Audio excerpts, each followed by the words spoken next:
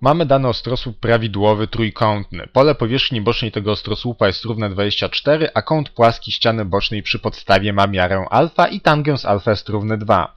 Wyznacz kosinus kąta nachylenia ściany bocznej ostrosłupa do płaszczyzny jego e, podstawy. Zaczynamy od tego, że robimy rysunek poglądowy do tego zadania, to znaczy szkicujemy nasz ostrosłup prawidłowy trójkątny. E, ostrosłup prawidłowy trójkątny to jest taki, który ma w podstawie trójkąt równoboczny, czyli ten trójkąt tutaj jest równoboczny. No następnie rysujemy wysokości tego trójkąta równobocznego. One przycinają się w jednym punkcie i to będzie spodek wysokości e, naszego ostrosłupa prawidłowego trójkątnego. Rysujemy wysokość, następnie krawędzie i rysunek e, poglądowy gotowy. Teraz spróbujmy jakoś oznaczyć na tym rysunku te dane, które mamy podane w treści zadania.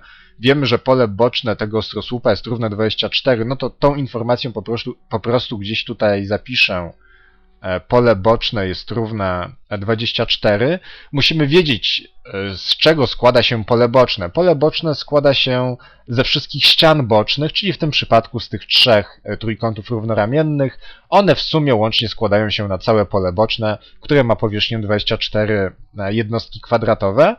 No i mamy ponadto jeszcze powiedziane, że kąt płaski ściany bocznej przy przy podstawie ma miarę alfa. Spójrzmy zatem e, może na przykład na tą ścianę boczną. No i kąt płaski tej ściany bocznej będzie na przykład e, w tym miejscu, czyli ten kącik możemy sobie podpisać alfa. On jest taki sam jak ten kąt. Ten kąt tutaj również ma miarę alfa, no ale zaznaczmy go tylko z jednej strony. Możemy sobie również na tej ścianie bocznej narysować wysokość e, tej ściany bocznej, czyli odcinek od wierzchołka ostrosłupa tutaj do środka tego odcinka. E, może sobie oznaczmy tą wysokość na przykład literką H, e, no i nawet wyrysujmy sobie cały ten trójkąt, czyli całą tą ścianę boczną na oddzielnym rysunku, żeby wszystko było lepiej widać. Czyli rysujemy trójkąt e, równoramienny. Rysujemy naszą wysokość H. Oczywiście ona pada pod kątem prostym do podstawy. Tutaj mamy kącik prosty wypada jeszcze jakoś sobie oznaczyć e, ten odcinek, czyli długość e, krawędzi podstawy.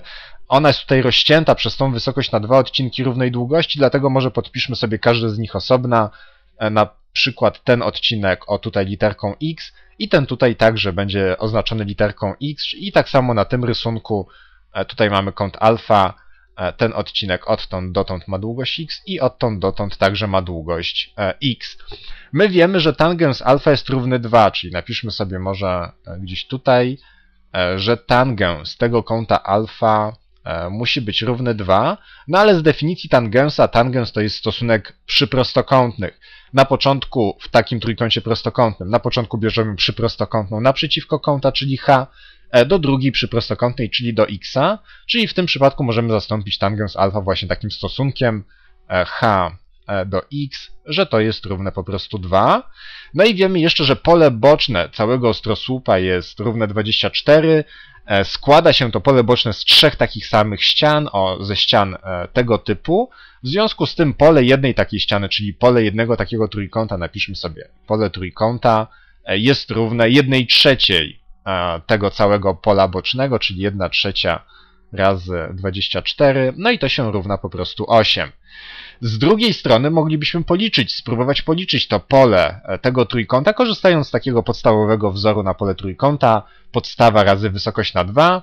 E, w naszym przypadku podstawa to 2x, czyli piszemy 2x razy wysokość, czyli razy h, e, podzielić na 2. No i to wiemy, że ma być równe 8. Te dwójki się skracają, czyli po prostu otrzymujemy, że x razy h równa się 8. I z tego równania to z tego równania, które otrzymaliśmy z tangensa, że tangens alfa równa się 2, e, możemy wyliczyć na przykład h, czyli mnożymy to równanie obustronnie przez x, otrzymując, że h równa się 2 e, razy x i następnie podstawić tutaj do tego równania pod h 2x, otrzymamy w rezultacie x razy 2x e, równa się 8, x razy x to x kwadrat, czyli będziemy mieli tu 2x kwadrat równa się 8, E, czyli x kwadrat równa się 4, czyli x musi być równe 2. Rozwiązanie ujemne x równa się minus 2 odrzucamy, ponieważ odcinek musi mieć długość dodatnią. No i teraz, gdy już mamy policzone całkiem e, sporo informacji, już ma, wiemy całkiem sporo informacji o tym całym ostrosłupie, znamy długość e, krawędzi podstawy, ona się składa z dwóch xów. Nawet możemy napisać, że krawędź podstawy, czyli e, krawędź tego bok, tego trójkąta równobocznego leżącego w podstawie, oznaczmy go sobie literką A, no i wiemy, że A e, musi być równe 2x 2 razy 2, czyli po prostu 4. Znamy wysokość ściany bocznej. h, h jest równe 2 razy x, czyli również 4. Możemy sobie nawet tutaj napisać h równa się 2 razy x, 2 razy 2, czyli 4. No i teraz musimy spojrzeć, co musimy tak naprawdę policzyć. Musimy wyznaczyć kosinus kąta nachylenia ściany bocznej ostrosłupa do płaszczyzny podstawy. Na początku musimy zlokalizować, gdzie jest ten kąt. E, ten kąt nachylenia całej ściany bocznej do płaszczyzny e, podstawy jest pomiędzy wysokością ściany bocznej a wysokością podstawy. Czyli dokładnie o tutaj w tym miejscu jest ten kąt, którego kosinus musimy obliczyć.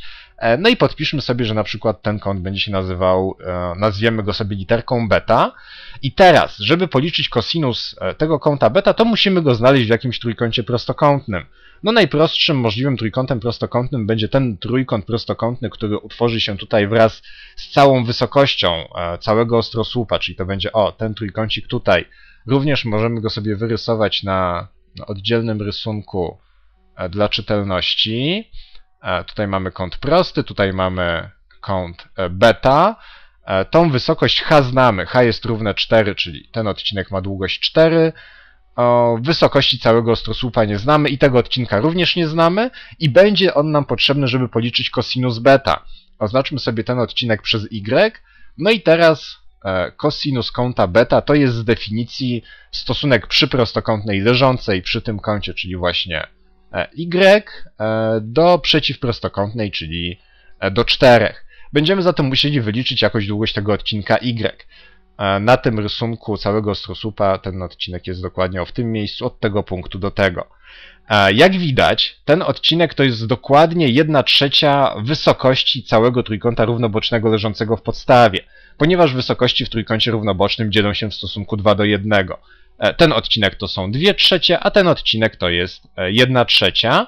No ale wysokość trójkąta równobocznego możemy bardzo łatwo policzyć, ponieważ znamy e, długość boku tego trójkąta. Znamy A, e, no więc możemy napisać, że nasz Y jest równy 1 e, trzeciej wysokości trójkąta równobocznego o boku A, no a ta wysokość wyraża się wzorem A pierwiastków z 3 na 2, czyli w naszym przypadku 4 pierwiastki z 3 na 2 to się równa, czwórkę możemy z dwójką skrócić, tu zostaje 1, tu 2, czyli będziemy mieli dwa e, pierwiastki e, z 3 e, przez 3, to jest y, no i gdy mamy już y, to możemy policzyć bez problemu cosinus beta. Piszemy, że cosinus kąta beta jest równy y, czyli dwa pierwiastki z 3 przez 3, podzielić jeszcze na 4, czyli to się równa dwa pierwiastki z 3 przez 3 razy 1 czwarta, czwórkę z dwójką się skraca, e, no i zostaje w liczniku po prostu e, pierwiastek z 3, a w mianowniku 3 razy 2, czyli 6. E, no i to jest odpowiedź do tego zadania.